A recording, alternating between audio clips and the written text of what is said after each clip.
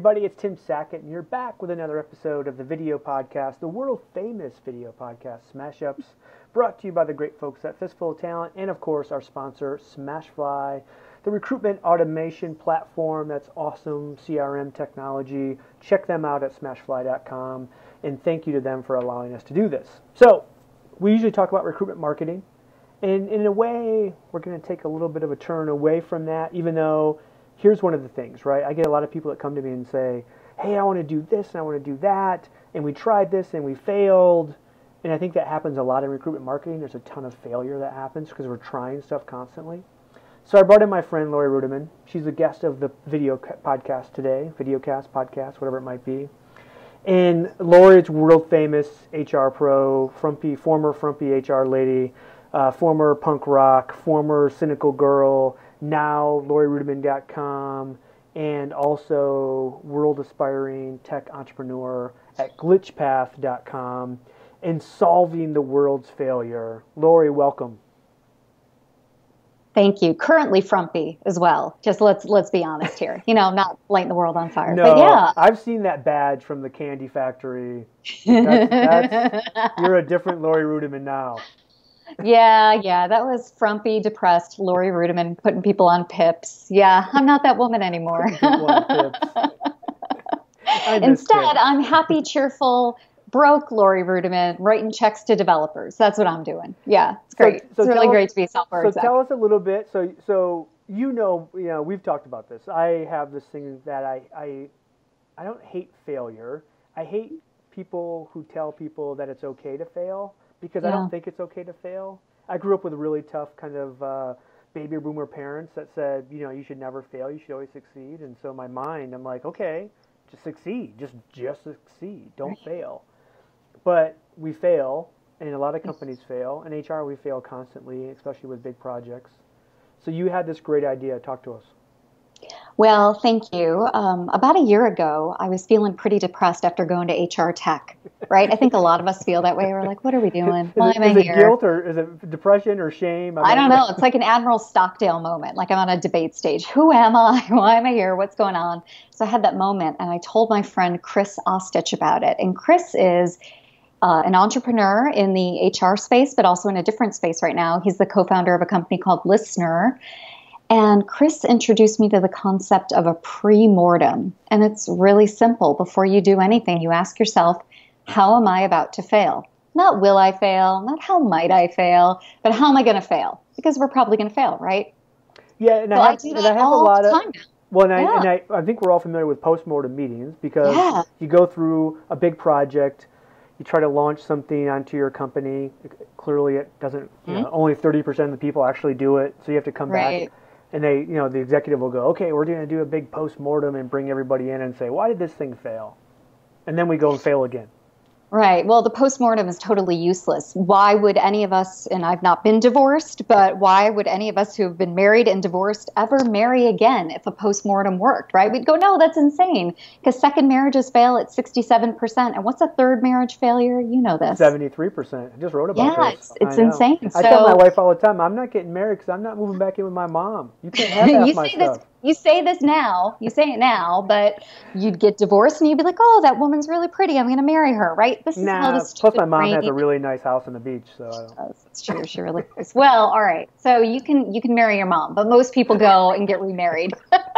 no thanks. So anyway, post postmortem does not work, but a pre-mortem, asking yourself how you're going to fail, coming up with a list, will improve your chance of success by over thirty percent. And it was invented by a management philosopher by the name of Gary Klein. And he's been writing about it for years.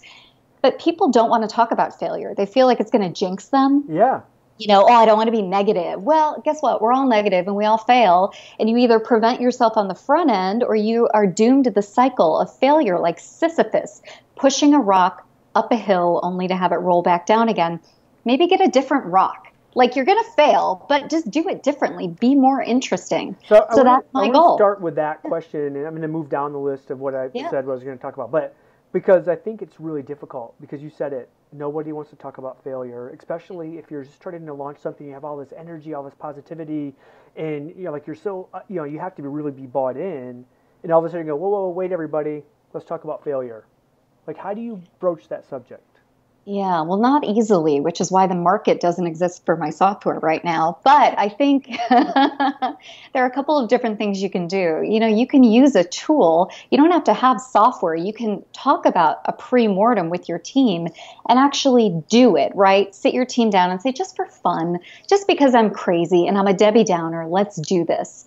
And go through a pre-mortem quietly for 90 seconds, write down how it's going to fail and laugh at the answers, right? You know, but be brave, go first. The second thing you can do is just do a pre-mortem with yourself. You don't need other people's insights because chances are you already know how it's going to fail.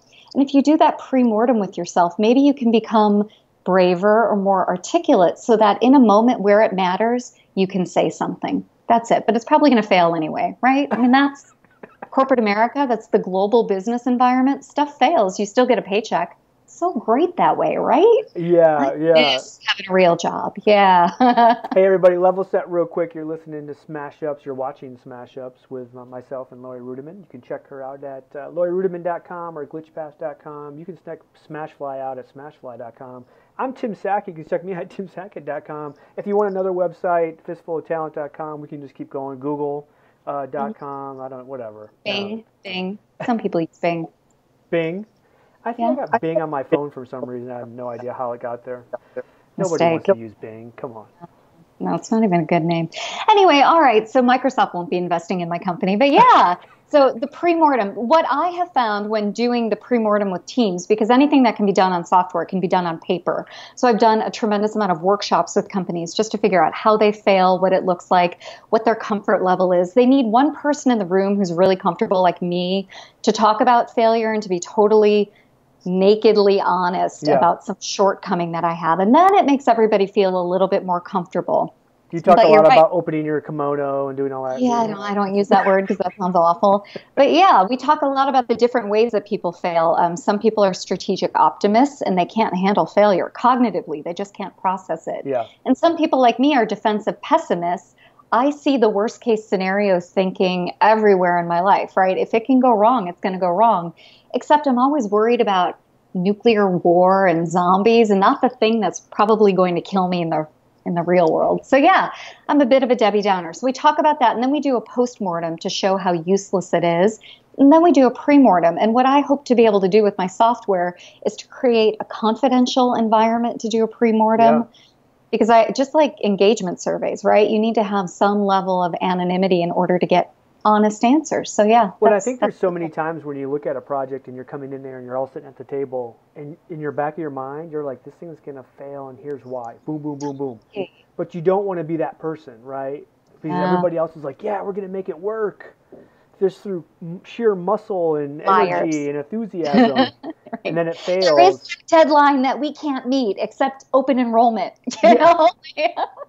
every year it's the same stupid mistakes with open enrollment but every year we think we're going to beat failure and there's always that one outlier who doesn't turn in his stuff until it's too late and you've got to go back into the system it's really a mess we make the same seven mistakes in our life personally and professionally over and over again and what i'd like to do is solve the problem of making those really boring mistakes so we can make new mistakes and we can fail in new and more innovative and disruptive ways. So that's all I'm trying to do. So you talked about those personas that we all have. How, how do people figure out which one they are? Well, I think, you know, it takes a lot of soul searching and also an understanding of the definition of strategic optimist and defensive pessimism. I have that on my website, laurieruettimann.com. It's really just about self identifying and reflecting. And there's nothing bad about being a strategic optimist. If you have a huge number of recs to fill in Paducah, Kentucky, for a tough to fill position, you want someone in the foxhole who thinks they can get it done, yeah. right? You need that. But you also need someone who's realistic and who sees that it might fail mm-hmm. and can work out some alternative scenarios. So, like anything, it's good to have a mix on a team. But yeah, generally people are one or the other. They hate the idea of failure. They don't even see the world that way, or they always think that everything is about to fail, which is how I see the world. I'm a gem at dinner parties. Let let me tell you. you know why that champagne glass might kill you? Let me tell you why. I always tell that when I have an HR vendor really like, that's just new into the space and they call me. I, I can instantly just to figure out like would I you know you're gonna fail in this many ways don't don't talk to me I'm not the person and they hate it, right? Because they think you're going to jinx them.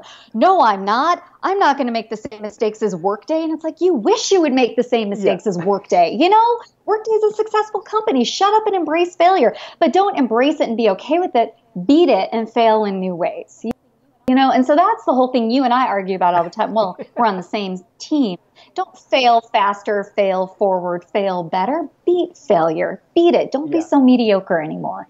So yeah, that's my that idea, message. the pre-mortem. How, how and I do you think, do it right as so let's let's just use open enrollment. We talk about open enrollment, right? So we come in, yeah, we know open right. enrollment's a problem. It is every single year. We come back, we feel like we're failed. So how what advice would you give that HR team to say here's how we're going to beat it this time? Yeah, they normally start planning in what, July or August March, or even sooner than that. so, right. Well, you know, depending on what kind of HR team you work for. But yeah, so the minute you get your planning meeting together, before you even start to write plans out, before you put pen to paper, talk about how it failed in the past and how it will fail going forward. It's hilarious the answers that come up, right? Because you're seeing things from one way, people see it from a different way, and then start to do almost a Venn diagram. What answers are similar and what answers are different? Because I guarantee someone in the corner has a wildly different perception of why open enrollment failed yeah. than you. And it generally happens to be for one of 10 reasons like budget, communications, scope, politics. You know, there are reasons why and they'll be familiar, but you probably have a blind spot. So start with failure. I know that sounds so counterintuitive, but do it for recruiting projects, mm-hmm. right? Or do it for a video podcast. Before I jumped on with you, I asked myself, how will this fail? And I thought, if I say the word right over and over again, it will fail. And here I am going, right? Right, right? Tim? Right? But at least I know I'm self aware that I'm doing it. right? yeah. So you can do this in front of any task my husband and I did it while we were thinking about building a home. So we did a pre-mortem. How will it fail? And it turns out I'm not good with money. I knew it, but we had an honest conversation about that. We're not building a home anytime soon because I can't stick to a budget. So you know, it's true. But it works for a wide variety from recruitment to human resources to planning a bachelorette party. Give it a go. Just try it. You don't need software. So, how can people get a hold of you? How can they use you? Tell us. Well, don't go on Bing. We already stated that. Um, please find me at glitchpath.com or I don't know, Google's fine. Um, you know this, Timmy. I rank pretty high for I hate HR, so go ahead and try that. You know, there are a lot of different ways to find me. But most importantly, um, find me and say something nice. Don't find me and say anything mean because I don't want to hear it. Cool. All right. Thank yeah. you. Thanks to glitchpath.com and Laurie for coming on. Also, smashfly.com. Check them out there because they they pay for all of this and let us do it. And uh, Kris Dunn over at Fistful of Talent. Uh, he he thinks I'm good enough to do this, so he lets me do whatever Forget I want. Guy. So forget that. All right. We'll see you all guys next time. See you soon. All right. Bye, Tim.